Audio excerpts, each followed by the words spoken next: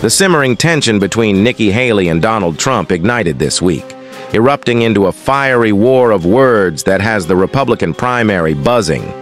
It all started when Trump, ever the master of controversy, questioned the whereabouts of Haley's deployed military husband during a South Carolina rally.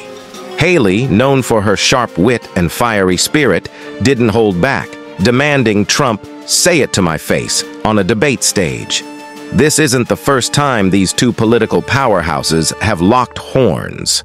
From Haley's initial criticism of Trump during his 2016 campaign to her recent distancing from his stances, their relationship has been a roller coaster.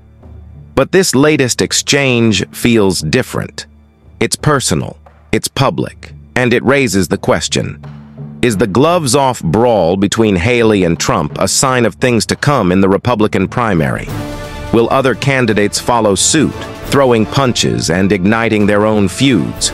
Or will they rise above the fray, offering a different vision for the party? One thing's for sure. With just weeks to go before the first votes are cast, the Republican race is getting hotter than ever, and Haley versus Trump is just the first act in this blockbuster political drama. See you next time. Thanks for watching.